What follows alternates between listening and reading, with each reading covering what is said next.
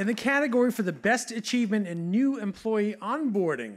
First, please join me in congratulating a, t- a- a 2016 Silver Stevie Award winner, and they are Doğuş Automotive Service of Kocaeli, Turkey. Here to accept the Silver Stevie Award are Ella Culinaria, Human Resources and Business Process Management Director, and Bilden Cork May Urich, Human Resources Training Assistant Manager. Celebrating its 22nd year in 2016, Dogus Automotive is the leading automotive importer and one of the biggest automotive distributors in Turkey.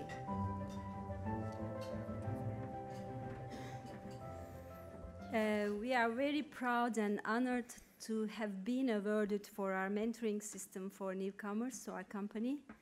We would like to thank you to judges, to organization for this event, to my training manager, Villan, and to all HR team in Doğuş Automotive. Thank you very much. Thank you so much for everything. Thank you.